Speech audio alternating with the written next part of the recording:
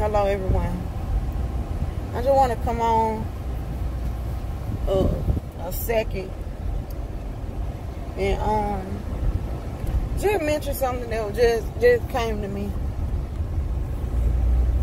about you know how we always talk about our haters and and this that and the third and I just want to say that you know we need to stop talking about our haters because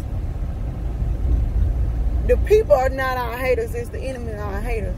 See, we look at people with our natural eye, but we don't look at the we don't look at the heart, we don't look at we don't look at the spirit behind. You know, we don't look at the spirit behind that person. You know, what possessed we don't think about to ask that question, what possessed that person to do that? Or what possessed that person to say that? All we know is what is this flesh did it.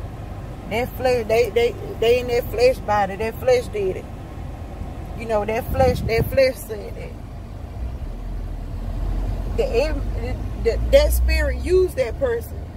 And sometimes we can't blame the enemy. That's true, but you still gotta recognize uh, who you who you who you fighting. For the Bible says the weapons of our warfare are not carnal. You see what I'm saying? And it also says that that we wrestle not against flesh and blood. See? But against what? Principality, wickedness in, in high places and so far on. So, you know, how can we look at the, the individual? And I'm not talking about nobody in specific. It just came to me. How can we look at the individual and say that, you know, oh, that I don't like that person. I hate that person. Or I can't forgive that person because they did this to me or they said this to me or, or, or they hurted me or, you know, uh, they crossed that line or, or whatever that person did or whatever situation, you know, it was, uh, you know, they, we're trying to hold people accountable and, and I'm not saying, you know, people are not supposed to be held accountable for wrong because they are, but at the end of the day, we know God is the judge. God is the judge.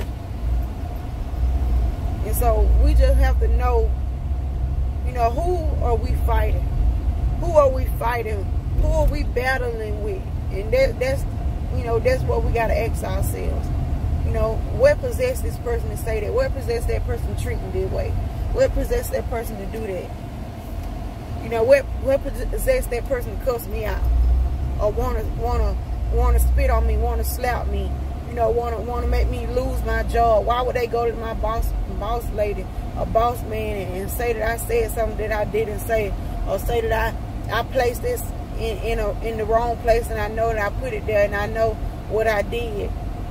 You know, I know that I didn't I didn't um you know do what they said I did. I know what time I clocked in, but they want to say I clocked in at this time, and they know it's not true.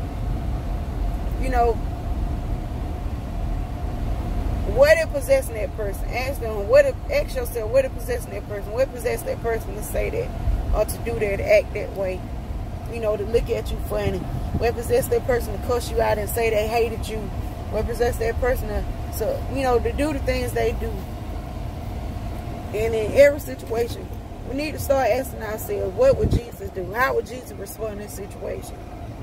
You know, when a person came up to Jesus, he didn't look at that person. He looked at that demon that was possessing that person.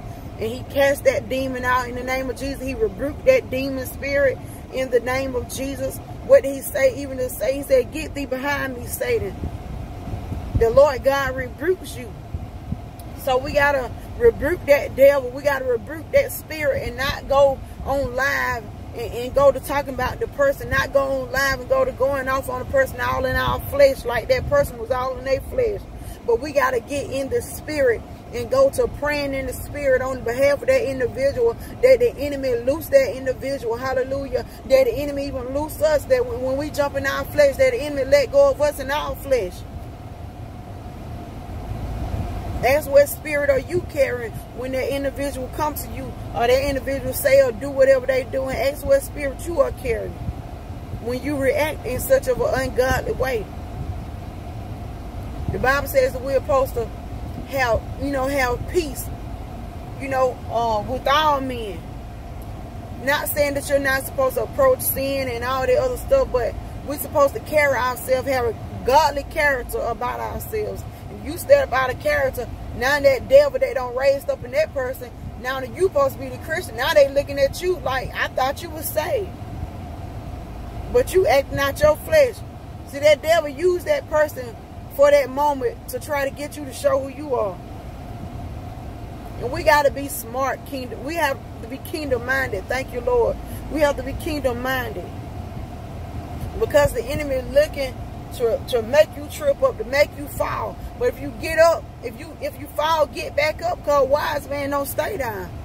Only a foolish man decide to stay down, decide to feel pity for himself and stay down and wallow in sin, wallow in guilt, wallow in shame. You got to get up. We in this walk, we study going to be perfecting each day. So if you fall, get back up. Why did I go there? I don't know, but thank you, hallelujah, praise God. But stop looking at the person and look at that spirit behind that individual.